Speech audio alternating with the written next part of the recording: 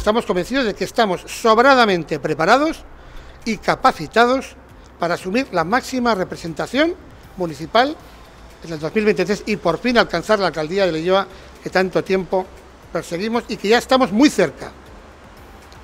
Se nota en nuestra impronta de izquierdas, se nota en nuestro trabajo y sobre todo son los vecinos y vecinas quienes notan las mejoras que llevamos a cabo.